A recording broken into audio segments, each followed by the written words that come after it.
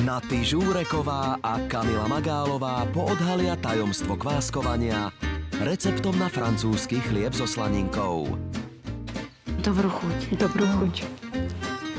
Kamila pre nás vyčaruje aj ruský rýchly slivkový koláč. Peč sa.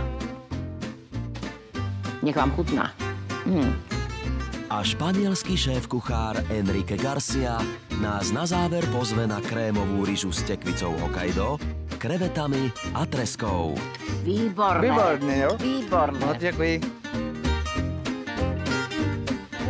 Tajomstvo mojej kuchyne. V premiére v nedeľu podvečer na jednotke.